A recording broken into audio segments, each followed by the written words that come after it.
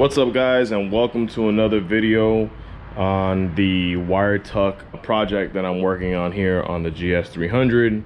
As you guys remember, if you've seen the first video I did, I pretty much was disassembling as much as I can to gain access to do the wiring and and make it a little bit easier and to see where I want to run the wires. In this section, I kind of started pretty much mapping out how I want to run the wiring and that's kind of what I'm working on today um, and I'm going to be showing you guys what I'm doing. Before I get into that, some of this wiring here, and I know probably you guys can't tell because now, you know, I removed the loom and everything, but some of this wiring that goes along the uh, valve cover uh, pretty much runs underneath and goes to all the plugs that run on this side passenger rail. Some of that stuff now I'm gonna be backtracking and running it around and looping it around the motor um, so that it meets um, somewhere back there in the firewall. Well, there's some things that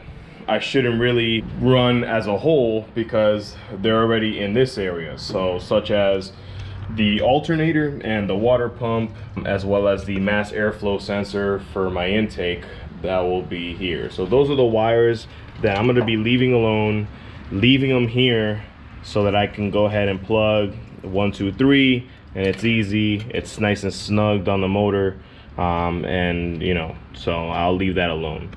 But as far as the other wiring as is concerned these wires are the ones that i'm to have to go ahead and extend um, like I said, they're the ones that go to the O2 sensors and some of the plugs that go to the throttle body. So that is what I'm gonna have to backtrack and run it along this side of the motor to the back and then meet in some type of junction around this area. That's kind of what my thoughts are on that. This, what I have going on, this is probably the most difficult part that I know I'm gonna be running into.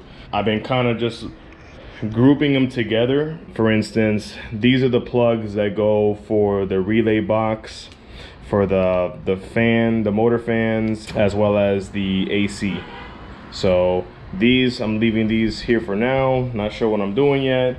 I grouped these together because these are all the plugs that I'm going to be running to the front of the car. And these are for the igniter, the ECU, and some of them junction together. So I'm trying to figure out what I'm gonna do with this big chunk here, which obviously it runs as well to this junction area and to the back as well as uh, along the valve cover. So my idea was try to push this back on the on the firewall area there and try to kind of clean it up there when I got to this area. Um, two things that I'm running into the wiring that runs back here, there is wiring that still continues down below into the uh, transmission tunnel area there. I don't have access to that right now. So I'm leaving that alone for now until I figure out what I'm gonna do with that later on. If it's something where uh, once I have the vehicle on jack stands, um, but I'm trying to just only cover what's inside the engine bay. Um, and then also the other difficult part is this grommet that goes inside the car. What am I gonna do with that? I have no idea as of yet. Is it something where I might have to take out the dash? Maybe. And I will worry about that when the time comes. Um, but for now, it's all about this area extending these wires to this area so I can complete the passenger side for now. And also, if you guys remember, oh, if you guys haven't seen this yet, um, this is obviously the computer for the car. This is the Figs Engineering um, three foot extension harness. So I haven't messed with that yet other than just plugged it up there. But if you guys remember, this section of the engine harness. I was working on pretty much getting it ready to run in the inside of the dash and I kind of have it already prepped and ready to go. The only thing is the plugs now I have to also extend Um, I'm not sure if I'm gonna be doing that yet. That's kind of where I'm at right now with that one. So I think that's kind of like one of the easiest parts as of right now. Um, and then go from there. All right, guys, let me get to work.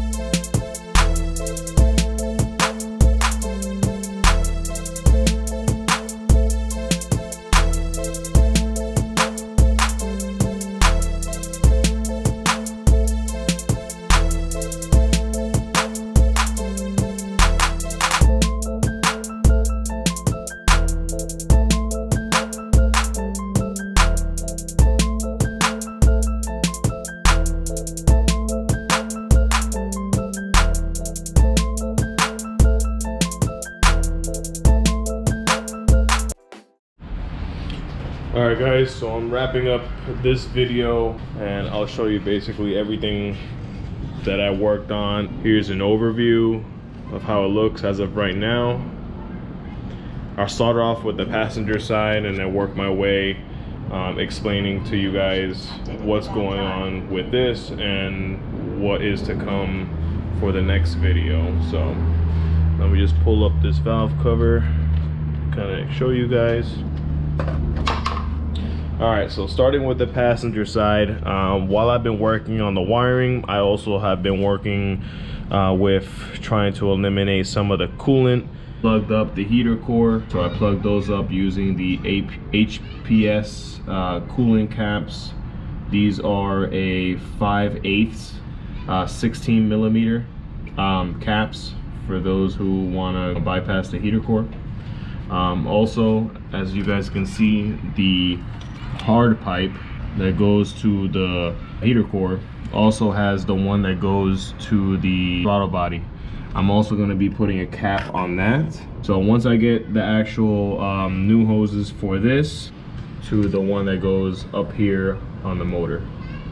So that's how that i'm going to route that. On this side of where the throttle body uh, cooling hose goes all the way here on the bottom. I'm gonna cap that. All right back to the wiring. As you can see here all this uh, wiring that's going on what i ended up doing is pretty much disconnecting all the plugs as far as the injectors um, the coils um, removing it getting everything loose so i know how to wire the harness now. As you can see i just started now with the wiring that i know that i'm to be running on this side which is for the mass airflow sensor the water pump and the alternator. So those are the three plugs i'm going to be running along the front of the motor. Everything else that went around this side originally is going to be routed to the back. So what i did was i wanted to make sure because the wires are all in one body right?